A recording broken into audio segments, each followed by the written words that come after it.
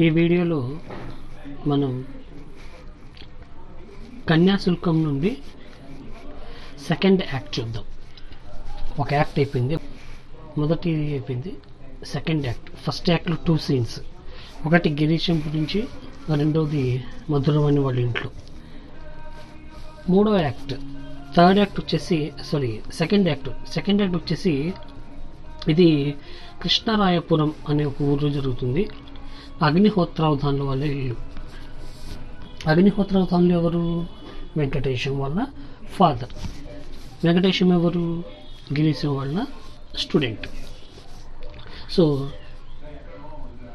విజయ్ తను ఉంటున్న ఊర్లో ఇక తన ఆటలు సాగవు తన పప్పులు ఉడకవు అని తెలుసుకున్న గిరీశం ఈ వెంకటేశం అడ్డం పెట్టుకొని వాళ్ళ ఊరు వెళ్ళిపోయి కొద్ది రోజులు అక్కడ ఉందామని ప్లాన్ చేస్తాడు. సో అక్కడికి వెళ్ళినప్పుడు జరుగుతుంది ఒక సీన్ అనమాట అగ్నిహోత్రవదంలో వాళ్ళ ఇల్లు ఉంటుంది. ఆయన జంధ్యం ఉడు- ఉడుకుతూ కూర్చుంటాడు. కరెక్ట్గా శాస్త్రులు ఉంటాడు బావమరిది. అతని పక్కన వాళ్ళ శిష్యులు అంటే చదువు చెప్తూ ఉంటాడు. ఇతను కరెక్ట్గా శాస్త్రి ఏం చేస్తాడంటే డ్రామాలు వేస్తూ ఉంటాడు. కొన్ని పద్యాలు చదివిస్తూ ఉంటాడు డ్రామా నేర్పిస్తూ ఉంటాడు. శిష్యుడు కూడా ఉంటాడు. ఆ శిష్యుడు పేలు చూస్తూ ఉంటాడు. ఈయన పిలకలో. వెంకమ్మ ఉంటుంది. వెంకమ్మ అంటే అగ్నిహోత్రవసంలో వల్ల భార్య అంటే వెంకటేశ్వర వల్ల మదర్ ఆవిడ కూరలు తరుక్కుంటూ ఉంటుంది. ఆవిడ చెప్తున్నారనమాట అక్కడ స్టార్ట్ అవుతుంది మనకి ఈ సీన్ అబ్బాయి నిన్న లెటర్ రాశాడండి. క్రిస్మస్ హాలిడేస్కి ఇంటికి వస్తానని చెప్పి. సో ఇప్పుడు ఇప్పట్లో ఇప్పుడో కాసేపట్లోనే వస్తాడు. వన్ వాడిని చూసి ఛానల్ అయింది. అమ్మ కదండి అలాగే ఉంటుంది. చూసి ఛానల్ అయింది. చూసి చూసి ఎదురు చూసి చూసి కళ్ళు కాయలు కాసినాయి. సో ఇగో రే ఇప్పుడు కాసేపట్లో రాబోతున్నాడు అని అంటుంది దానికి అగ్నిహోత్రావతం అంటాడు తండ్రి వద్దొద్దు అంటే వద్దు వద్దు అన్నా కూడా వాడిని తీసుకెళ్ళి ఇంగ్లీష్ మీడియంలో జాయిన్ చేయించావు నువ్వు. చక్కగా నేనేమో వేదాలు చదివించుకుందాం అనుకున్నాను. కొంచెం పొలం ఉంది. పొలం దున్నుకునేవాడు. సో ఆ ఆస్తి మొత్తం వాడు చదువుకు అయిపోతుంది. వాడు చదివి వచ్చేది ఏం లేదు. పోయినసారి కూడా ఎగ్జామ్స్ ఫెయిల్ అయ్యాడు. ఈసారి ఎంత ఎలా పెడతాడో నాకు తెలియదు చక్కగా వేదాలు చదివించి వాడిని పండితం చేద్దాం అనుకున్నాను. నువ్వేమో వాడి జీవితాన్ని నాశనం చేస్తున్నావు అని చెప్పి తండ్రి అంటున్నాడు. అప్పుడు వెంకమ్మ ఎప్పుడు మీరు డబ్బు గురించి ఆలోచిస్తారు? ఇంగ్లీష్ మీడియం చదివిన వాళ్ళు ఎంతమంది పెద్ద పెద్ద కలెక్టర్లు అవ్వట్లేదు? మీరు మీరు మాత్రం వీడిని తిడ ఇప్పుడు తిడతానే ఉంటారు. మనోడు బాగా చదువుతానులేండి ఒక్కొక్కసారి సబ్జెక్ట్ ఫెయిల్ అవ్వడం అనేది చాలా కామన్గా ఉంటుంది అంటుంది అనమాట కొడుకుని సపోర్ట్ చేస్తూ ఉంటుంది. దానికి అగ్నిహోత్రావతాలు పాపం తెగ తిడతా ఉంటాడు. చదువు చదువు వచ్చేది చదువు వచ్చేదేం లేదు కానీ డబ్బులు మొత్తం అయిపోతున్నాయి. సో చివరికి చిప్ప పట్టుకుని ఇట్టగుంటా హారతి గారికి ఆస్తి మొత్తం అయిపోతుంది. చివరికి చిప్ప చేతిని పట్టుకుని తిరగాలి. ఏదో ఇంగ్లీష్లో ఇంగ్లీష్ చదువులో పెట్టావు నువ్వు అని చెప్పి తిడతాడనమాట వీళ్ళు ఇలా మాట్లాడుకుంటూ ఉండగా గిరీశం వెంకటేశం అప్పుడే వస్తారు. రాగానే వెంకమ్మ అమ్మయ్య వచ్చేసాడు నా కొడుకు అని చెప్పి గట్టిగా కౌగులించుకుంటుంది. అగ్నిహోత్రావతంలు జనరల్గా పేరు తండ్రులు ఎలా మాట్లాడతారు అలాగే మాట్లాడతారు అనమాట ఏరా ఈసారైనా పాస్ అయ్యావా అని. ఇంటికి ఎగ్జామ్స్ రాసి ఇంటికి రాగానే అమ్మ ఏమంటుందంటే ఎంత ఆకలితో ఉన్నావు అని చెప్పి అన్నం పెడుతుంది.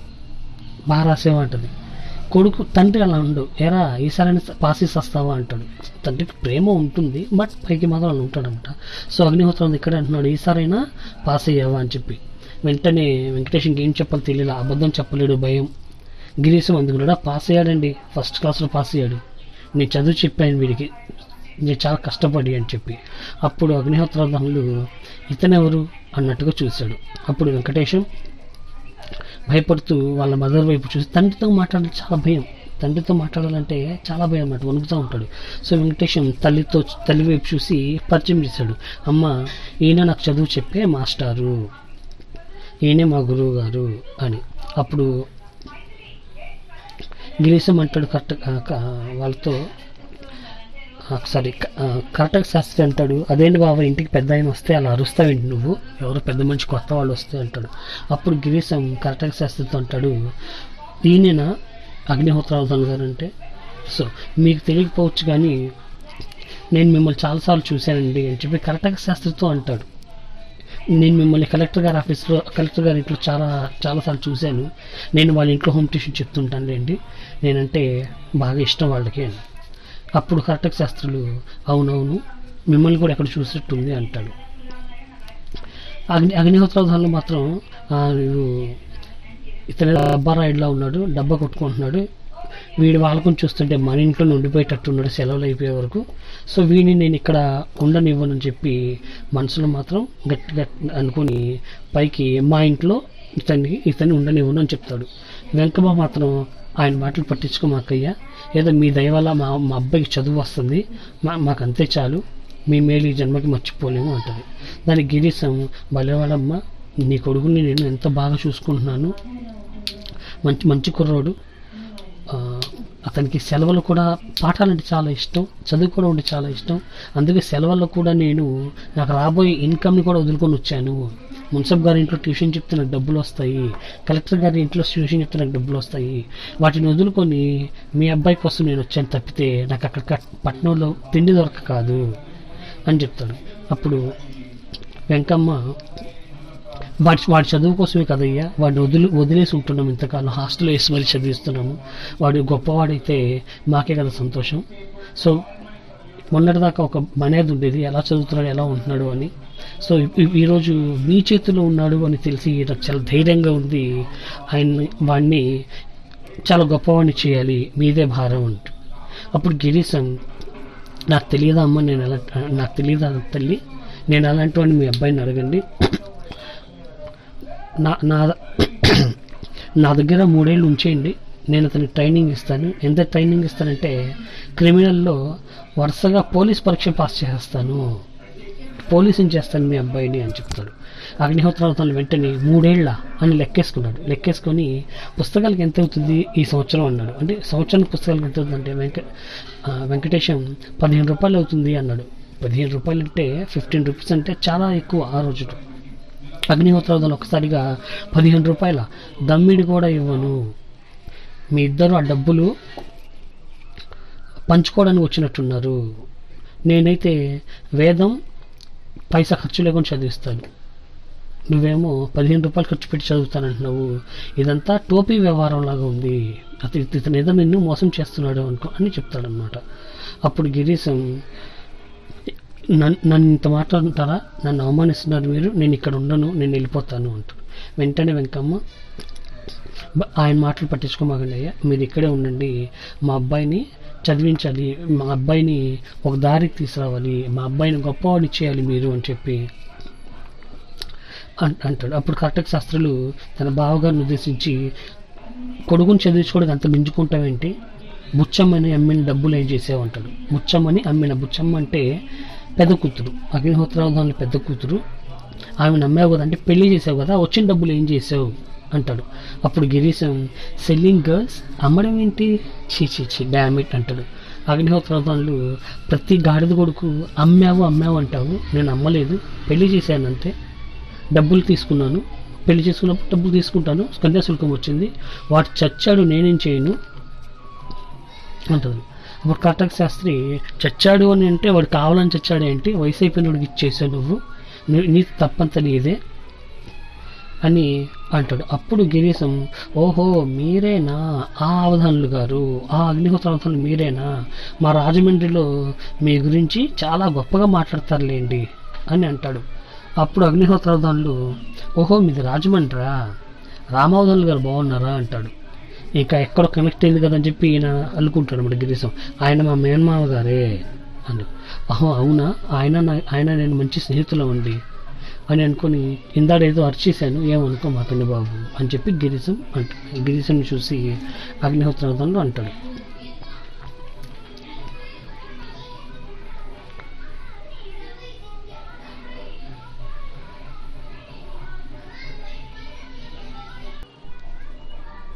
ఆ తర్వాత ఆ! కొన్ని పేపర్స్ తీసుకొని అగ్నిహోత్రవదంలో గిరిశంపిస్తాడు ఇది చూడండి మా అమ్మాయి పెళ్ళప్పుడు మేము రాసుకున్న పేపర్స్ దీ అంటే కోర్ట్ కేసు అని నేను కేసు వేసాను దానికి సంబంధించిన పేపర్స్ ఒకసారి చదవండి అంటాడు. గిరీశం చూసి ఓపెన్ చేసి ఇది ఎవరో తలు తెలివి తక్కువ రాసినట్టుంది. అసలు అక్షరం పోలికి గుర్తుపట్టలేకపోతున్నాము సరిగ్గా చదవలేకపోతున్నాను అంటాడు. అప్పుడు అగ్నిహోత్రుడు అదేంటండి? మా లాయర్ ఫాస్ట్ ఫాస్ట్ చదివిస్తాడు కదా ఆయనకు అర్థమైంది కదా అంటాడు. గిరీశం ఏ నేను మాత్రం చదవలేక కాదు. ఇంతకన్నా పంచిముచ్చి చదవగలను. కాకపోతే వీడు సరిగ్గా రాయలేదు. నేను దీన్ని మీకు కరెక్ట్గా ట్రాన్స్లేట్ చేసి చెప్పమంటారా అంటాడు. అగ్నిహోత్రవుతాళ్ళు అంతకంటేనా? అని చెప్పి బయటికి చెప్పి మనసులో మాత్రం నా దగ్గర చాలా దస్తావేజులు ఉన్నాయి ఇలాంటి పేపర్స్ చాలా ఉన్నాయి. అవన్నీ అక్షరం డబ్బు ఖర్చు లేకుండా వీడియో చదివించేసుకుంటాను అని అనుకుంటాడు అనమాట ఇతనేమో ఒక పీనాసుడు అనమాట అప్పుడు వెంకమ్మ అడుగుతుంది మా అబ్బాయి మీరు ఒకసారి ఇంగ్లీష్ మాట్లాడుకోండి వినాలని ఉంది. మా అబ్బాయి మా అబ్బాయి మీరు ఒకసారి ఇంగ్లీష్లో మాట్లాడుకుంటే నాకు వినాలని ఉంది అని చెప్పి గిరీశంతో మాట్లా గిరీశంతో అంటుంది. గిరీశం ఈ సిచ్యువేషన్ ఎక్స్పెక్ట్ చేశాడు ముందే. ఇంతకుముందు చెప్తాడు మీ ఇంటి మీ ఇంటి దగ్గర ఎవరైనా మనల్ని ఇంగ్లీష్లో మాట్లాడమంటే ఏం చేయమన్నాడు? ఏదో ఒకటి మాట్లాడు నువ్వు అంటాడు. అది ఇప్పుడు పనికి వస్తుంది అనమాట అప్పుడు గిరీశం అంటున్నాడు my dear Venkatesham twinkle twinkle little star how I wonder what you are అన్నాడు. ఏం చెప్పి పెడుతున్నావు twinkle twinkle twinkle little star how I wonder what your ఇది ఎక్కడిది ఇది? పోయిట్రీ రైమ్స్ అనమాట అని చెప్పాడు. వెంటనే వెంకటేశ్వర దానికి సమాధానంగా then is a white man in the tent టెంట్లో ఒక వైట్ మ్యాన్ ఉన్నాడు అని చెప్పి సమాధానం ఇచ్చాడు. సో గిరీశం అని మాట్లాడిన దానికి దీనికి పొ- సంబంధం లేదు పొంతం లేదనమాట అంటే ఏదో ఒకటి మాట్లాడు నువ్వు అవతలవాడికి అర్థం కాదు కదా అదనమాట అప్పుడు మరి దానికి సమాధానం గిరీశం మళ్ళీ అంటున్నాడు the boy stood on the burning deck where all but he had flight ఇది వేరే బుక్లోది ఒక ఫ్రేజ్ అనమాట దానికి రిప్లైగా Venkatesham upon the same base and on the same side of it it the sides of a trapezium are equal to one another ఇది ట్రిగ్నోమెట్రీలోనే ఒక sentence first start చేసింది రైమ్స్తో ఇప్పుడేమో ట్రిగ్నోమీటర్ దాకా వెళ్ళారు. అప్పుడు గిరీశం అంటున్నాడు of man's first obedience and the fruit of the mango tree sing Venkatesh my very good boy. So of man's first obedience ఇది బైబిల్లోని సెంటెన్స్. అయితే అక్కడ యాపిల్ ఉంటుంది ఇక్కడ నేను మ్యాంగో అని మార్చాలన్నమాట అని చెప్పి my dear Venkatesh you are very good good boy అన్నాడు. అప్పుడు వెంకటేశం దానికి దానికి రిప్లైగా nouns ending in F or F E change their F or F E into V E S grammar బిట్లో చెప్పాడు ఇంగ్లీష్ గ్రామర్ చెప్పాడు. సో వీళ్ళిద్దరు మాట్లాడుకున్న మాటలు ఒకరి దానికి ఒకటి పొంతం లేకుండా మాట్లాడుకున్నారు. పాపం పిచ్చిచనం వింటున్న వాళ్ళు అగ్నిహోత్ర వాళ్ళు కానీ వెంకమ్మ కానీ కర్టక శాస్త్రులు కానీ వాళ్ళందరూ ఆశ్చర్యపోతున్నారు. బా మా అబ్బాయి భలే ఇంగ్లీష్ మాట్లాడుతున్నాడు అని చెప్పి. సో ఇదంతా మాట్లాడుకుంటున్న మాట్లాడుకుంటుంటే విన్న అగ్నిహోత్రాదాలు దీనికి అర్థం ఏంటో ఏమైనా చెప్పగలరా? అని చెప్పి అడిగాడు. గిరీశం అంటున్నాడు ఈ సెలవుల్లో మనం ఏమేమి చదవాలనేది దాని గురించి మాట్లాడుకుంటున్నాము అన్నాడు. అప్పుడు కర్టక శాస్త్రి అడిగాడు ఒక తెలుగు పద్యం చదవరా? అని. వెంకటేశం పొగ చుట్టాకు అని చెప్పి ఒక పొగాకు సంబంధించిన పోయంని స్టార్ట్ చేయబోతే గిరీశం అంటున్నాడు నో నో నో అదొద్దు. నలదమయంతులు ఇద్దరు అనే పోయం చదువు అన్నాడు. అప్పుడు వెంకటేశం ఆ పోయం చదువుతున్నాడు. ఆ పోయంలో మన ప్రభవానల అనే ఒక పదం వస్తుంది. కర్టక శాస్త్రి మన ప్రభవానల అంటే ఏంట్రా? అని అడిగాడు. మీనింగ్ తెలియదు కదా వెంకటేశంకి. వీడేం చేస్తాడు? తలపైకెత్తి పైకప్పు వేసి చూస్తున్నాడు చూ ఇంటి చూరు వైపు చూస్తున్నాడు. గిరీశం పాపం కవర్ చేయడానికి మళ్ళీ వేస్తున్నాడు. పసిపిల్లలకి అలాంటి కఠినమైన పద్యానికి అర్థం తెలుస్తుందా? అన్నాడు. అగ్నిహోత్రాలు అంటున్నాడు అదేంటి? పద్యాలు చదివించి అర్థాలు చెప్పరా అంటే గిరీశం అంటున్నాడు లేదండి వేదాల్లాగా బట్టి పట్టిస్తారు. పిల్లలకి ఫస్ట్లో వేదాలు బట్టి పట్టిస్తారు. చదివితే చాలు మనకు ఇంగ్లీష్లో అంత రైమ్స్ రైమ్స్ ఏం చేస్తారు చిన్నపిల్లలకి మీనింగ్ తెలియదు వాళ్ళకి బట్ దే సీయింగ్ దెమ్. ఆ రైమింగ్ పాడతారు కానీ వాళ్ళకి అర్థం తెలియదు అనమాట అలా ఉంటుంది. తెల్లవాళ్ళ స్కూళ్ళలో పైగా తెలుగు పద్యాల మీద అంత ఇంట్రెస్ట్ చూపించారు వాళ్ళు. ఎంతసేపటికి? జాగ్రఫీ అర్థమెటిక్ ఆల్జబ్రా మ్యాథ్స్ ఇవే చెప్తారు అంటారు అప్పుడు కర్ణాటక శాస్త్రి అనుకుంటాడు అబ్బో ఈ వీ- వీడి దగ్గర చాలా సబ్జెక్ట్ ఉన్నట్టుంది. వీడిని సాధ్యమైతే తొందరగా ఇక్కడ నుండి పంపించేయాలి. లేకపోతే నాకున్న వాల్యూ ఇక్కడ పడిపోతుంది అనుకుంటాడు. అప్పుడు అగ్నిహోత్రవతాలు అబ్బో అన్ని సబ్జెక్టులు చెప్తారా? అన్ అన్నాడు. గిరీశం మరి ఏమనుకున్నాడు మీ అబ్బాయి లాంటి బాగా చదువుకునేవాడికి ఒక్క క్షణం కూడా ఖాళీ ఉండదు. ఇప్పుడు కార్పొరేట్ స్కూల్స్ చదివిస్తారు కదా పొద్దున్న నాలుగింటికి నిద్రలు ఎత్తారు నాలుగున్నరకలా స్నానం అయిపోవాలి. రెండు బాత్రూంలకు ఇరవై మంది స్నానం చేయాలి. నాలుగున్నరకలా స్నానం చేసేసి నాలుగున్నర నుండి కూర్చుంటారు చదవడానికి. రాత్రి పదిన్నర దాకా చదువుతూనే ఉంటారు. అలాగా మీ అబ్బాయి కూడా చాలా తెలివైనడు కాబట్టి ఒక్క క్షణం కూడా తీరిక ఉండదు కూర్చోడానికి అగ్నిహోత్రావతాలు అది గది. చదువు అంటే అలా ఉండాలి. అంతేగాని గోలికాయలు ఆడడం కాదు అన్నాడు. గిరీశం నా దగ్గర గోళీలు ఆడడం పనికిరావండి. పుస్తకం చేతిలో పట్టుకుంటే వేళ్ళకి పుస్తకం అంటుకుపోవాలి. అలా చదవాలి. అలా చదివిస్తాను నేను అన్నాడు. దానికి అగ్నిహోత్రాలు అలా చేస్తే ఖచ్చితంగా వాడు అన్ని పరీక్షలు పాస్ అవుతాడు. అప్పుడు వాడికి డబ్బు ఖర్చు లేకుండా పెళ్ళైపోతుంది. ఈ రోజుల్లో అమ్మాయి బాగా చదువుకుంటే కట్నం బాగా చదువుకున్న హస్బెండ్ని తీసుకురావాలి. కట్నం ఎక్కువ ఇవ్వాలి. కానీ ఆ రోజుల్లో అలా కాదు. చదువుకున్న కుర్రాడు బాగా చదువుకుంటే కట్నం కట్నం అసలు ఇవ్వనక్కర్లా. అంటే కన్యాశుల్కం తక్కువ కట్టాల్సి వచ్చేదన్నమాట. అప్పుడు వెంకమ్మ మీ నైజం కొద్ది చెరుబోరు అంటారు కానీ మీకు అబ్బాయి మీద ప్రేమే కదా? మీరేదో తండ్రి కాబట్టి అలా తిడుతున్నారు కానీ మీకు కూడా అబ్బాయి అంటే చాలా ఇష్టమే సుమి అంటది తల్లి. కటక శాస్త్రి అంటున్నాడు బాగుమరిది కదా కొంచెం సెటరికల్గా మాట్లాడతాడనమాట డబ్బు ఖర్చు లేకుండా కొడుకు పెళ్ళి చేస్తావు అనుకుంటున్నావు ఏంటి? నేను ఆడపిల్లలు నమ్మినట్టు అనుకున్నావా? కనీసం పదిహేను వందలైనా నువ్వు ఖర్చు పెట్టాల్సి వస్తుంది. అంటాడు కర్తక శాస్త్రి. అప్పుడు అగ్నిహోత్రాలు డబ్బు ఖర్చు లేకుండా మా వెంకటికి అంటే వెంకటేష్కి పెళ్ళేలా ఎలా చేస్తానో నువ్వు చూద్దు కానీ రామచంద్రపురం అనే ఒక ఊళ్ళో లుబ్దావధానులు గారని ఒకడు ఉన్నాడు. తెలుసా? తెలుసు. ఆయన లక్షాధికారి. ఆయన పద్దెనిమిది వందలకి మన సుబ్బమ్మని పెళ్ళి చేసుకుంటా అన్నాడు. సుబ్బమ్మ అంటే చిన్న కూతురు. చాలా చిన్న పిల్ల అనమాట సో ఆ పెళ్ళి ఖర్చులు మొత్తం ఆయన చేసి పెట్టుకుంటాడు. జస్ట్ మన అమ్మాయిని తీసుకెళ్ళి పెళ్ళి చేసి తిరిగి వచ్చేయాలి అంతే. సో ఆ పద్దెనిమిది వందలు తీసుకొని ఆ పద్దెనిమిది వందలు పెట్టి నా కొడుక్కి నేను పెళ్ళి చేస్తాను అన్నాడు. ఇప్పుడు ఈ రోజుల్లో కూడా పేదవాళ్ళు అలాగే చేస్తారు. కూతురు పెళ్ళి చేయాలంటే ముందు కొడుకు పెళ్ళి చేస్తారు. కొడుకుకి ఇచ్చిన కట్నం తీసుకొని కూతురికి ఇస్తుంటారు. అలాగా ఇక్కడ నా కూతుర్ని ముందు పెళ్ళి చేసి నా కూతురికి పద్దెనిమిది వందలకి నేను పది ఆ, డబ్బులతో నా కొడుకు పెళ్ళి చేస్తాను అన్నాడు. అప్పుడు వెంకమ్మ ఏంటి? సంబంధం చూసారా ఎన్నేళ్ళు పెళ్ళి పెళ్ళి కొడుకు వయసు ఎంత? అని.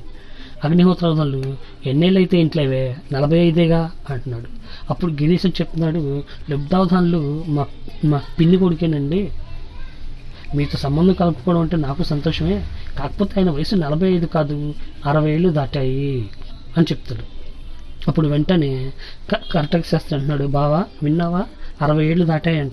ఈ సంబంధం కనుక నువ్వు చేసినట్లయితే అమ్మాయికి నీళ్ళు తగలబెట్టేస్తా నేను. నీ ఇంటికి నీ కొంపకి నేను నిప్పు పెట్టేస్తాను అన్నాడు. అప్పుడు అగ్నిహోత్రవతాలు ప్రతి గాడిద కొడుకు నన్ను నన్ను నన్ను అనేవాళ్ళే నేను తాంబూలం ఇచ్చేసాను మీరేం చేసుకుంటారు చేయండి నేనైతే ఫిక్స్ చేశాను మ్యారేజ్ అంటుంది. అప్పుడు వెంకట వెంకమ్మ నాకు అదేంటండి? నాతో నాతో చెప్పలేదేంటి? అంటది. అప్పుడు అగ్నిహోత్రాలు అంటాడు ఆడవాళ్ళతో ఆలోచన. అసలు ఆడవాళ్ళకి చెప్పి చేయాల్సిన అవసరం ఏంటి? ఆడవాళ్ళు ఎంతలో ఉండాలి అంతలో ఉండాలి. ఈ సంబంధం చేస్తాను నేను చేయి చేయకపోతే నా అదే చే- చేసి తీరుతాను. లేదంటే నా పేరు మార్చు మార్చుకుంటాను నేను అని చెప్పి అక్కడ నుండి లేచి వెళ్ళిపోతాడు. అప్పుడు వెంకటేశం సారీ వెంకమ్మ తన సోదరు తన బ్రదర్తో ఉంటుంది అన్నయ్య ఈ సంబంధం కనుక ఆయన చేస్తే నేను ఏ నుయ్యోగుయ్యో చూసుకుంటాను. ఇప్పటికే పెద్దదానికి పెళ్ళి చేసాము అది వచ్చి విడో అది విడవ వచ్చి మన మన ఇంట్లోనే కూర్చుంది. సో దాన్ని భరిస్తున్నాం. ఇప్పుడు కూడా మళ్ళీ చిన్నదానికి కూడా అలాగే జరిగింది అనుకో మనం అయిపోతాము. సో కాబట్టి నేను బతికి ఉండాలనుకుంటే ఈ సంబంధం ఎలాగైనా సరే నువ్వు తప్పించు. ఇప్పుడు కర్తక శాస్త్రి అన్నాడు బావ ఎవరి మాట విండు కదే అదేంటి అంత పెద్ద మాట అనేసి సర్లే నేను ట్రై చేస్తాను అన్నాడు. ఇప్పుడు గిరీశం అమ్మ మీరు ఎందుకు విచారిస్తారు? అవధానులు గారితో ఒక గంట సేపు నేను కూర్చుంటే ఆయన మనసు నేను మార్చేస్తాను. నాకు ఆయనతో మాట్లాడే అవకాశం ఇవ్వండి మీ ఆయనతో అని. అప్పుడు వెంకమ్మ అంటుంది బాబు బాబు అతడు మీ మేనత్త కొడుకు అదే మీ కజినే అన్నారు కాబట్టి దయచేసి ఆయన మనసు మార్చండి. నా భర్త మనసుని మీరు మార్చలేరు. ఎందుకంటే ఆయన మూర్ఖశిఖామని దాన్ని పట్టిందే పట్టు అంటుంటాడు మూర్ఖుల మనసుని మనం మార్చలేము అనమాట సో ఇతను చాలా మూర్ఖుడు. ఈయన మనసుని మీరు మార్చలేరు. కాబట్టి మీరు మీ కజిన్ మనసుని మార్చండి అని చెప్పి అంటుంది. అప్పుడు గిరీశం అంటాడు అమ్మా మీ ఆయన మూర్ఖుడైతే మా కజిన్ పరమ మూర్ఖుడు. సో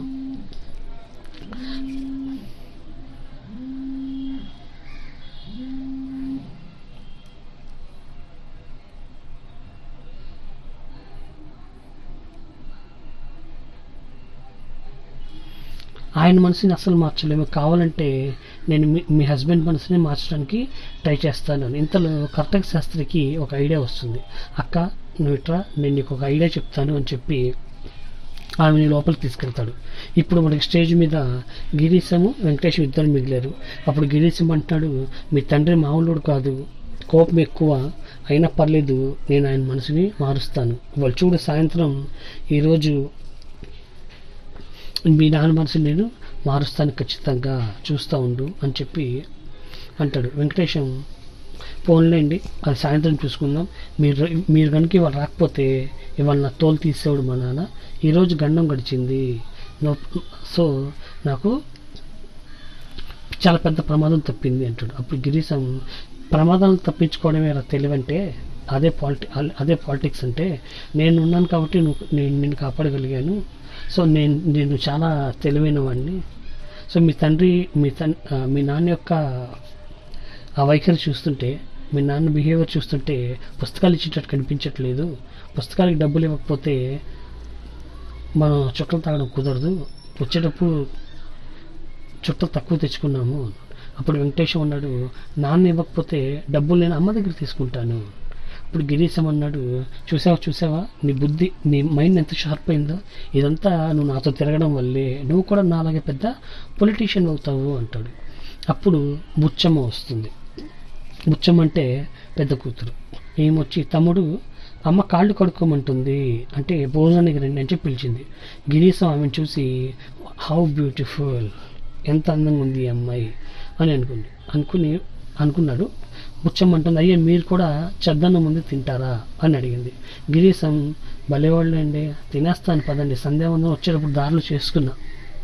సంధ్య అంటే వాటర్లో దిగేవాళ్ళు సూర్యుడికి స్పందన చేసుకుంటారు. ఆల్రెడీ నేను దారిలో ఏటి దగ్గర సందేహం చేసేసుకున్నాను. కాళ్ళు చేతులు కూడా కడుక్కోనక్కర్లేదు. మీరు వడ్డించేయండి వచ్చేస్తానని చెప్పి అంటాడు. బుచ్చమ్మ వెళ్ళిపోతుంది. అప్పుడు గిరీశం అదేంటి? ఆమె నీ సిస్టరా? అని అడిగాడు. అవునండి మా అక్క. అంటే అదేంటి? ఆవిడ ఇదవ ఇదవరాలు అయిందా ఏంటి? ఆవిడ హస్బెండ్ లేదా లేడా? అంట. అవునండి చనిపోయాడు. అంటే ఇంతకాలంగా నువ్వు నాకు తెలుసు. ఇంతకాలంగా నేను విడో మ్యారేజెస్ గురించి వితంతు వితంతు పెళ్ళిళ్ళ గురించి ఇన్ని క్లాసులు పీకాను నేను నీకు. ఒక్కసారి కూడా మీ ఇంట్లోనే ఇంత అందమైన బ్యూటిఫుల్ యంగ్ వీడియో ఉందని చెప్పలేదేంటి? నేనే కనుక ఈమె తండ్రిని అయితే ఈ పిల్లకి ఈ పడికి నేను ఇంకో పెళ్ళి చేసి చేసేద్దును ఆయన ఎంత అందంగా ఉందిరా? అని చెప్పి మనసులో అనుకుంటున్నాడు. పల్లెటూరులో బోర్ కొట్టిద్ది అనుకున్నాను. ఫోన్లే మంచి టై- టైం పాస్ అయిపోయింది నాకు కూడా అని అనుకున్నాడు. అప్పుడు వెంకటేశం అంటున్నాడు మా నాన్న నాకు కూడా పెళ్ళి చేస్తానంటాడుగా అని. గిరీశం అన్నాడు ఆ పెళ్ళి తప్పించాను కదా నేను ప్రస్తుతానికి. దీనికి అసలు పెళ్ళి ఒకటి ఉండేది. కర్రతో చేసేవాడు. సో ప్రస్తుతానికి తప్పించాను కదా సంతోషించు అని చెప్తాడు. అది ఫస్ట్ సెకండ్ యాక్ట్లోని ఫస్ట్ సీన్. సెకండ్ యాక్ట్లో సెకండ్ సీన్. ఇది సెకండ్ సీన్ సెకండ్ యాక్ట్లో ఇది ఒక దేవాలయంలో జరుగుతుంది. దేవాలయం లోపల కాదు దేవాలయం ప్రాంగణంలో. ఇక్కడ శిష్యుడు ఉంటాడు ఎవరు శిష్యుడు అంటే కరటక శాస్త్రి యొక్క శిష్యుడు. ఇతను పాపం పుస్తకం తీసి ఏదో చదువుతూ ఉంటాడు శ్లోకాలు చూస్తూ ఉంటాడు. దానికి కన్ఫ్యూజ్ అవుతుంటాడు అన్ని శ్లోకాలు ఒకేలా కనిపిస్తుంటాయి కొత్తది ఏది? పాతది ఏది? అంటే చదివేసింది ఏది? చదవాల్సింది ఏది? ఇది అర్థం కాదనమాట. ఆరు నెలలకు ఒకసారి పుస్తకం తీస్తే ఇలాగే ఉంటుంది. సర్లే ఏదో చదువుదాం అని చెప్పి ఏదో ఒక పద్దెనిమిది శ్లోకం చేసి చదువుతూ ఉంటాడు. ఎక్కడో చదివినట్టుగా కనిపిస్తూ ఉంటుంది. అయితే పనికొచ్చే వర్డ్స్ ఏమి అనిపించి కనిపించవానికి దానిలో. ఏదో అంటే జనరల్గా మనకి పోయిటరీ సరిగ్గా నచ్చదు కదా. ఈయనకు కూడా ఈ పోయిటరీ నచ్చట్లేదు. ఇదేం పోయిటరీ బాబు అని చెప్పి. సో పనికొచ్చే మాటలు ఎక్కడ కూడా లేవు. చక్కగా దీనికన్నా గిరీశం గారి చెప్పే విషయాలు బాగున్నాయి. ఈ పుస్తకాల్లో అంత పాత చింత చింతగా పచ్చడి ఉంది అని అనుకుంటూ ఉంటాడు. గిరీశంని అడిగితే ఆయన దగ్గర చాలా నాలెడ్జ్ ఉంది. ఆయన అయితే చక్కగా అన్ని ఎక్స్ప్లెయిన్ చేస్తున్నాడు. ఈ పుస్తకాలన్నీ వేస్ట్ అని తిట్టుకుంటూ ఉంటాడు. ఇంతలో వాళ్ళ గురువు గారు వస్తారు. అంటే కరెక్ట్గా శాస్త్రి వస్తాడు. ఏంటి? నీలో నువ్వేదో మాట్లాడుకుంటున్నావు? నేను నీ గురువు గారిని కదా నాకు కూడా చెప్పు అంటాడు. అబ్బాయి అదేం లేదంటే ఈ కవితలన్నీ కూడా నా వల్ల కావట్లేదు. ఈ శ్లోకాలు అన్నీ కూడా ఎందుకు నాకు అర్థం కావట్లేదు. సంస్కృతం ఎందుకు నేర్చుకోవాలి అసలు? ఏదో చక్కగా నాలుగు ఇంగ్లీష్ మాటలు నేర్చుకుంటే బాగుండేది. గిరీశం గారి దగ్గరికి వెళ్ళి నేను కూడా ఇంగ్లీష్ నేర్చుకుందాం అనుకుంటున్నాను అంటాడు. అప్పుడు కరెక్ట్గా శాస్త్రి అలా కాదులే ఇక్కడ నుండి రోజుకు నాలుగు శ్లోకాలు చదివిస్తాను ఇక్కడ నుండి నీకు టీచింగ్ స్టైల్ మారుస్తాను నేను అని చెప్తాడు. సరే ఏదో కొత్త శ్లోకం చదువు అంటాడు. శిష్యుడు తీసి శ్లోకాలు చదువుతూ ఉంటాడు. సార్ కార్టక్ శాస్త్రి సరే ఓ పని చేయి. మళ్ళీ ఫస్ట్ నుండి చదువు అంటాడు. కరెక్ట్గా శిష్యుడు మళ్ళీ చదువుతుంటాడు. చదువు చదువుతూ చదువుతూ ఆ ఏ లాభం అండి? ఇందులో ఉన్నాయని తప్పులే అంటాడు. ఈ- దేని గురించి చదువుతాడంటే హిమాలయాల గురించి చదువుతాడు. ఆ కవితలు హిమాలయాల గురించి చదువుతాడు. చదివి ఇవన్నీ తప్పులేనంట అంటాడు. ఎవరు చెప్పారంటే గిరీశం గారు చెప్పారు. ఈ పద్యాల్లో చెప్పినట్టు ఈ కవితల్లో చెప్పినట్టుగా హిమాలయాలు లేవు. రెండు సముద్రాల మధ్యలో లేదు. మ్యాప్లో ఉంది. మ్యాప్లో ఎలా ఉన్న హిమాలయాలు ఎలా ఉన్నాయో మ్యాప్లో చూపించాడు ఆయన. హిమాలయాలు భారతదేశానికి ఉత్తర ఉత్తర వైపున ఉన్నాయి. పద్యంలోనేమో రెండు సంవత్సర రెండు సముద్రాల మధ్యలో హిమాలయాలు ఉన్నాయని చెప్తున్నారు. సో ఈ పద్యాలు శ్లోకాలన్నీ కూడా అబద్ధాలు అని చెప్పి గిరిసింగ్ గారు నాకు చెప్పారు అన్నాడు. అప్పుడు కర్టక శాస్త్రి అంటున్నాడు సర్లే ఆ పక్కన పెట్టి పుస్తకం. నేను కొత్త విషయం చెప్తాను. చదువు ఎందుకు చదువుకోవాలి చెప్పు అంటాడు. పొట్ట పోషించుకోవడం అంటే బతకడానికి కదంటే అవును. సరే ఈ రోజుల్లో సంస్కృతం ఎవడని చదువుతున్నాడా? కాలం మారిపోయింది. సంస్కృతం ఎవరు చదవట్లేదు. మరి అవునండి అవును గురుగారు అన్నాడు. కరెక్ట్గా చేస్తా అంటున్నాడు ఇంగ్లీష్లో చదువుకుంటావా? అంటాడు ఇంగ్లీష్ మీడియం చదువుకుంటావు? అంటే నాకు ఇంగ్లీష్ మీడియం ఎవరు చెప్పిస్తారండి? దానికి చాలా డబ్బులు అవుతాయి కదా. నేను చెప్పిస్తాను నీకు అన్నాడు. నిజంగానే చెప్పిస్తారంటే చెప్పిస్తాను కానీ ఒక కండిషన్ ఉంది. ఏంటి ఆ కండిషను నాకు నాకు ఒక వర్క్ పడింది పని పడింది. అది చాలా కష్టమైన పని. అది నువ్వు సాధించగలిగితే నేను నీకు ఇంగ్లీష్ మీడియం స్కూల్ చదివిస్తాను అంటాడు. శిష్యుడేమో నేను చేయగలిగిన పనులు కూడా ఉన్నాయా? ఈ భూమి మీద అంటాడు. భలేవాడివే నీ వల్ల మాత్రమే అవుతుంది. అదేంటంటే పది రోజులు ఆడపిల్లగా నటించాలి. ఈ కర్ణాటక శాస్త్రి ఏం చేస్తాడని చెప్పే ముందు నాటకాలకి ట్రైనింగ్ ఇస్తూ ఉంటాడు నాటకాలు వేస్తూ ఉంటాడు కూడా. వాళ్ళ శిష్యుడు ఇతను. సో ఒక పది రోజులు ఆడపిల్లగా నటించాలి అంటాడు. అప్పుడు శిష్యుడు అంటాడు నగలన్నీ కూడా నేను ఇంట్లో దాచి వచ్చానండి మన దగ్గర నగలేం లేవు అంటే నగలు వేసుకోవాల్సిన అవసరం లేదు నీకు. చక్కగా తలదువ్వి నీకు చీర కడితే పన్నెండేళ్ళ కన్నెపిల్లలా ఉంటావు. సో నువ్వు ఆడపిల్ల గట్టపేస్తే నిన్ను తీసుకెళ్ళి నేను లుబ్ధావధానులకి పెళ్ళి చేస్తాను. లుబ్ధావధానులు ఎవరు? తన మేనకోడలిని పెళ్ళి చేసుకోవాలి అనుకుంటున్న వ్యక్తి. సుబ్బమ్మని ఇతనికి పెళ్ళి చేద్దాం అనుకుంటున్నాడు అగ్నిహోత్రవధానులు ఈ పెళ్ళి జరిగితే నేను చేస్తానంటది వాళ్ళమ్మ వెంకమ్మ. ఓకే. సో అతను అనమాట సో నిన్ను తీసుకెళ్ళి నువ్వు అమ్మాయి గట్టెప్పేసుకో నిన్ను తీసుకెళ్ళి నేను లుబ్ధావతంలోకి పెళ్ళి చేస్తాను ఓ నాలుగు రోజులు చక్కగా నటించు అక్కడ. ఐదో రోజు ఆ డ్రెస్ డ్రెస్ ఆ వేషం వదిలేసి పారిపోయొచ్చి అన్నాడు. శిష్యుడు అంటున్నాడు ఓ సార్ అంతేనా? చాలా చిన్న పని నేను చిటికలో చేస్తాను. కరెక్ట్గా శాస్త్రి అంటున్నాడు. అలా అనుకోకు. ఓవర్ కాన్ఫిడెన్స్ వద్దు. కొంచెం అనుమానం వచ్చినా వాడు చాలా గట్టి గట్టి పిండం. మామూలు మామూలుడు కాదు. మోనార్క్ వాడు. కాబట్టి దొరికామంటే మాత్రం పీక తగ్గితే జాగ్రత్త అన్నాడు. శిష్యుడు నీకు ఆ భయం వద్దులేండి నేను చేసుకొస్తాను అంటాడు. కరెక్ట్గా శాస్త్రి సరే నువ్వు గెలిస్తే ఈ పని కనుక చేసి పెడితే నా కూతుర్ని నీకు ఇచ్చి ఇలాగే ఉంచుకుంటాను అంటాడు. ఇంకా ఆ రోజుల్లో డబ్బులు తీసుకో డబ్బులు ఇవ్వ డబ్బులు తీసుకోకుండా ఆడపిల్లని ఇస్తున్నారంటే అంటే కన్యాశుల్కం అడగట్లేదు నా నా పిల్లని నీకు ఇచ్చి పెళ్ళి చేస్తాను నువ్వు మా ఇంట్లోనే ఉండొచ్చు అంటారు కటక శాస్త్రి. శిష్యుడు ఏది ప్రామిస్ చేయండి అంటాడు. ఇదిగో ఈ సంస్కృతం పుస్తకం మీద ప్రామిస్ అంటే ఈ పుస్తకం మీద నాకు నమ్మకం లేదు. గిరీశం గారిని అడిగి ఒక ఇంగ్లీష్ బుక్ తీసుకొస్తాను దాని మీద ప్రమాణం చేయండి అంటాడు. సర్లేండి మీ మాట వింటాను నేను మీరు మా గురువు గారే కదా అంటాడు. అది దీనిలో ఉంది. ఇంకా మూడవ సీన్ మూడవ సీన్లో అగ్నిహోత్రవదంలో ఇంటి ఎదట వీధి. అగ్నిహోత్రవదంలో ఇంటి దగ్గర అనమాట ఆ బజారు.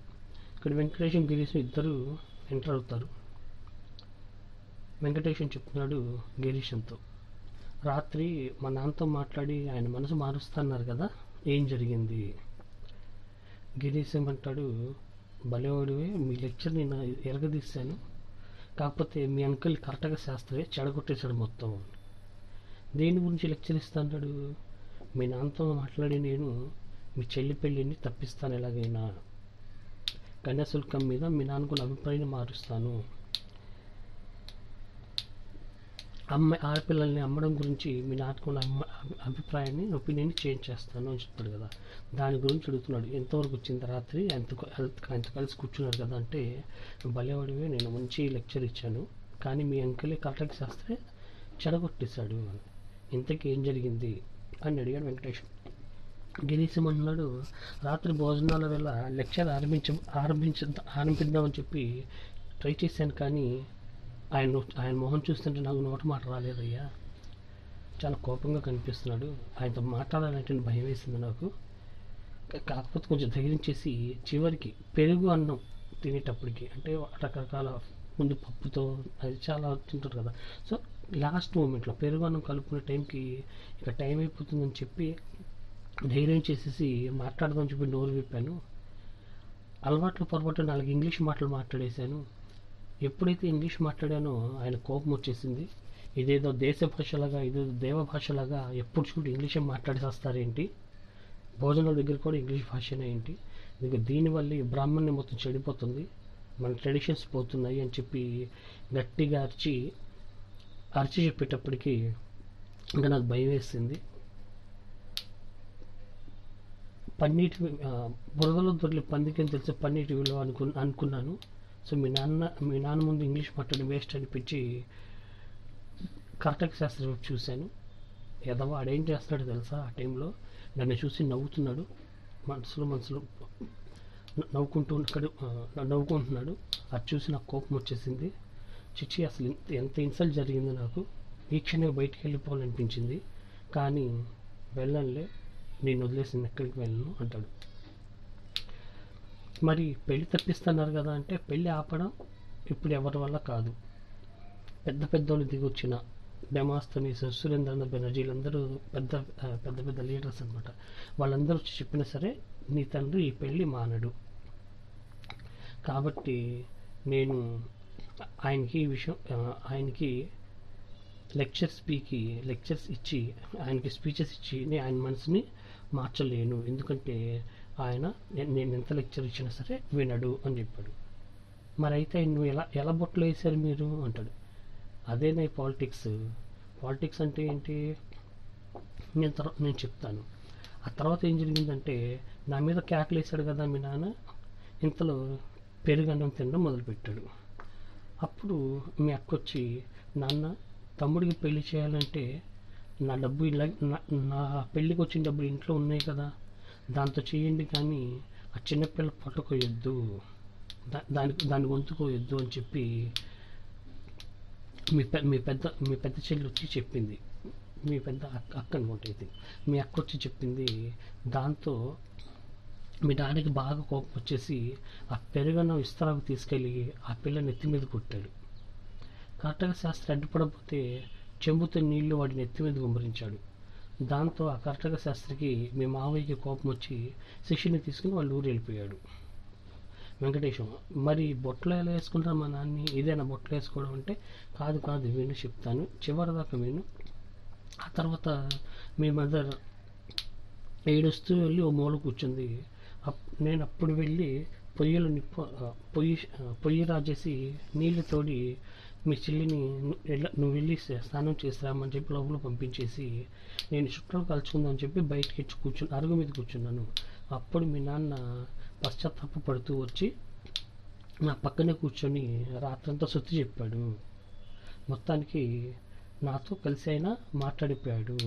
నాతో కలిసి మాట్లాడాడు కాబట్టి ఆయన మన వైపు వచ్చేసినట్టే అన్నాడు. వెంకటేశం అన్నాడు అదేంటి? ఆయన మాట వినలేదు అంటున్నారు కదా. మీరు చెప్పింది ఎలా విన్నట్టు అంటే లేదు లేదు. నేను ఒక బ్రహ్మాండమైన అస్త్రాన్ని ప్రయోగించాను. అదే పొలిటీషియన్స్ వాడే బ్రహ్మాండమైన అస్త్రం. అది బ్రహ్మాస్త్రం అని చెప్పాడు. ఏంటంటే ఆ అస్త్రం అంటే? ఏం లేదు. అవతల వాళ్ళు ఏం చెప్పారో దానికి మనం ఊ కొట్టడమే. ఇంకంతకన్నా అస్త్రం ఏం లేదు.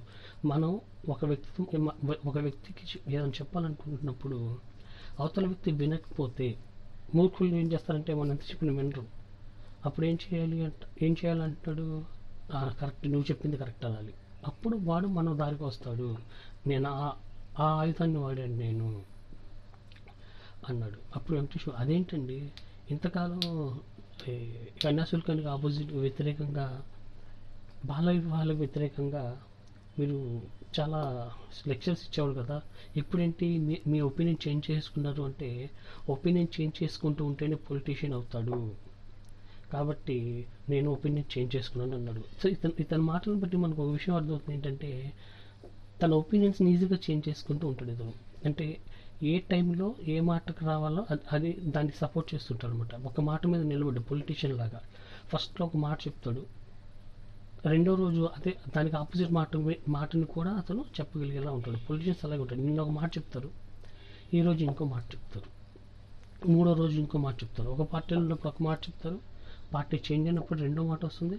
మూడో పార్టీ చేంజ్ తర్వాత మూడో రోజు మళ్ళీ ఇంకో పార్టీ ఇంకో మాట వస్తుంటుంది. సో అలాగా ఒపీనియన్స్ చేంజ్ చేస్తూ ఉంటాడు అనమాట ఇతను కూడా. సో అప్పుడు చెప్తున్నాడు యాక్చువల్గా మీ నాన్నగారు చెప్పిన తర్వాత నాకు ఒక ఆలోచన వచ్చిందయ్యా. పిల్ల బాల వివాహాలు చేయడం కరెక్టే. అది కూడా ముసలోళ్ళకి ఇచ్చి పెళ్ళి చేయడం కరెక్టే ఆడపిల్లలు చిన్నపిల్లల్ని ఎలాగా? ఎలాగంటే విని ఒకసారి. మ్యారేజ్ ఇప్పుడు పిల్లలకి పిల్లల్ని చిన్నపిల్లల్ని పెద్ద ముసలోళ్ళకి ఇచ్చి పెళ్ళి చేసామనుకోండి ఓకే? అప్పుడు ఏమవుతుంది యంగ్ వీడియోస్ ఉంటారు ఎక్కువగా. అంటే చిన్నపిల్లలు పెళ్ళి చేస్తే ఆ ముసలోళ్ళకి ఇచ్చి పెళ్ళి చేస్తే వీడియోస్ యంగ్ వీడియోస్ ఉంటారు. ఓకే యంగ్ వీడియోస్ ఉంటేనే కదా మనం young marriage young widow marriage చేయగలం. అంటే సమస్యని పరిష్కరించాలని నేను అనుకుంటున్నాను ఈ సంఘంలో యంగ్ వీడియోస్కి మ్యారేజ్ చేయాలి అనేది నా కోరిక. అవి చేయాలంటే ముందు యంగ్ వీడియోస్ ఉండాలిగా. పొలిటీషియన్స్ ఏం చేస్తారు? మీకు ఉన్న సమస్యలన్నీ నేను తీరుస్తాను అంటారు. ఓకే సమస్యలన్నీ తీర్చాలంటే ముందు సమస్య ఉండాలిగా. అందుకని ఏం చేస్తారు? ముందు సమస్యలు క్రియేట్ చేస్తారు. సమస్యల్ని క్రియేట్ చేస్తేనే సమస్యని తీర్చడానికి ఉంటుంది సమస్య ఏ సమస్య లేనప్పుడు ఏం తీరుస్తారు? ఓకే అలాగే ఇతను కూడా ఏమంటాడంటే యంగ్ యంగ్ వీడియో మ్యారేజెస్ చేయాలి అంటే ముందు యంగ్ వీడియోస్ ఉండాలి. యంగ్ వీడియోస్ ఉండాలంటే ఏం చేయాలి? చిన్నపిల్లల్ని ముసలికి ఇచ్చి పెళ్ళి చేయాలి. అప్పుడు వాళ్ళు వీడియోస్ అవుతారు. అప్పుడు నేను వాళ్ళకి ఇచ్చి పెళ్ళి వాళ్ళ పెళ్ళిళ్ళు చేసి గొప్ప కీర్తి కీర్తిని సంపాదించవచ్చు. మంచి పేరు సంపాదించవచ్చు అన్నాడు. అప్పుడు వెంకటేశం అదేంటండి? మా సుబ్బమ్మని ఆ ముసలికి పిలిచేస్తే మా అమ్మ నూతులు పడతాను బెదిరిస్తుంది కదా. ఆడవాళ్ళు బెదిరిస్తారు అంట బెదిరిస్తారే అంతే పడు పడు అనే ఆడవాళ్ళు ఉంటారు కానీ పడతానని ఆడవాళ్ళు ఎవరు ఉండరు. మీ నాన్నగారు రేపు పొద్దున ఏదో మంచి నగ తెచ్చి కొంచెం బంగారం తెచ్చి మీ మీ మమ్మీకి ఇచ్చారనుకో ఆటోమేటిక్గా ఆమె తన ఒపీనియన్ మార్చుకుంటుంది. ఆడవాళ్ళ గురించి నాకు నాకు చెప్పనక్కర్లేదు నువ్వు. వాళ్ళకి బంగారం కొంచెం బంగారం కొనిస్తే వాళ్ళు మాట వింటారు. అయితే నేను చెప్పింది మొత్తం విను అంటాడు. ఏంటి అంటే ఒక విషయం చెప్పు నాకు.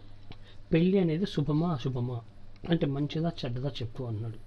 పెళ్ళి అంటే మంచిది. జనరల్గా పెళ్ళి అంటే మంచిదే కదా మనకి. మంచి శుభకార్యం అవుతుంది. అప్పుడు గిరీషం అంటున్నాడు. పెళ్ళి అనేది మంచిదైతే ఓకే? సో ఎన్ని పెళ్ళిళ్ళు జరిగితే అంత ఎక్కువ మంచి జరిగినట్టు ఒక చిన్న పిల్లని ఒక ముసలికి పెళ్ళి చేశారనుకోండి వాడు చేస్తాడు. అప్పుడు ఇంకోటికి ఇచ్చి పెళ్ళి చేయొచ్చు. వాడు వచ్చాడు అనుకో ఇంకోటికి వచ్చి ఇంకోటికి ఇచ్చి పెళ్ళి చేయొచ్చు. ఇలాగా పెళ్ళి మీద పెళ్ళి పెళ్ళి మీద పెళ్ళి పెళ్ళి మీద పెళ్ళి చేసి వాడి దగ్గర వెయ్యి రూపాయలు కన్యాశుల్కం వీడి దగ్గర వెయ్యి రూపాయలు కన్యాశుల్కం ఇంకోటి దగ్గర వెయ్యి రూపాయలు కన్నా అలా అందరి దగ్గర కన్యాశుల్కం తీసుకోవచ్చు. చక్కగా పెళ్ళి మీద పెళ్ళి శుభం మీద శుభం జరుగుతుంటుంది. సో ఒక్కసారి పెళ్ళి చేసుకుంటేనే శుభం మంచి మంచిదన్నప్పుడు ఎక్కువసార్లు పెళ్ళి చేసి ఎక్కువ శుభం కదా. సో మా చెల్లికి పెళ్ళి జరగాలి మళ్ళీ మళ్ళీ అన్నట్టు చెప్తున్నాడు అనమాట కాబట్టి ఇలా చేస్తే మంచి జరుగుతుంది. సో పెళ్ళి అనేది మంచిది కాబట్టి ఎన్ని పెళ్ళిళ్ళు జరిగితే అంత మంచిది అని. వెంకటేష్ ఇంకేం అర్థం కావట్లేదు. ఏంటి ఇలా మాట్లాడుతున్నాడు అని. అని మళ్ళీ అడుగుతున్నాడు. అంటే కన్యాశుల్కం కూడా మంచిదేనా అన్నాడు. మరేమంటు మరేమనుకున్నావే? ఆలోచి ఆలోచించి మాట్లాడాలి అని అంటారు. చాలా ఆలోచించుకుంటే కానీ నాకు ఈ విషయం అర్థం కాలేదు. కన్యాశుల్కం కూడా మంచిదే. ఎలాగా? ఇప్పుడు కన్యాశుల్కం అంటే ఏంటి? డబ్బు తీసుకుంటేనే కన్యాశుల్కమా? వస్తువు రూపంలో తీసుకుంటే కన్యాశుల్కం కాదా? డబ్బులు ఇస్తేనే కన్యాశుల్కమా? సో ఈ కన్యాశుల్కం అనేది మన్ నాట్ ఓన్లీ ఇన్ ఇండియా. బ్రిటిషర్స్లో కూడా ఉంది. బ్రిటిష్ వాళ్ళు కూడా పెళ్ళిలో గిఫ్ట్లు ఇస్తారు. పిల్లలకి ఆస్తులు ఇస్తారు బంగ్లాలు ఇస్తారు కార్లు డబ్బులు ఇస్తుంటారు. డబ్బులు మాత్రమే కాదు ఏ రూపంలో ఇచ్చినా సరే అది కన్యాశుల్కమే కదా. కాబట్టి అది తప్పు కాదు. పైగా ఆస్తి కూడా కలిసి వస్తుంటుంది. ఇవన్నీ నేను చెప్పేటప్పటికీ మీ నాన్నగారు చాలా హ్యాపీ ఫీల్ అయిపోయాడు. కాబట్టి లుబ్ధవధానులకి ఆ ముసలోడికి మీ చెల్లించి పెళ్ళి చేయడమే కరెక్టే అని చెప్పి నేను మీ నాన్న కలిసి డెసిషన్కి వచ్చాము పైగా ఇప్పుడు అతనికి ఇచ్చి పెళ్ళి చేసామనుకో వాడి వయసు సిక్స్టీ ప్లస్ ఉంది. రెండేళ్ళకు మూడేళ్ళకు బకెట్ తనేస్తాడు అప్పుడు నీ సిస్టర్ రిచ్ వీడో అవుతుంది. రిచ్ కూడా అవుతుంది కాబట్టి నువ్వు పెద్దవాడు అయిన తర్వాత ఆమెకి మ్యారేజ్ చేస్తావు రీమ్యారేజ్ చేస్తావు ఆమెకి.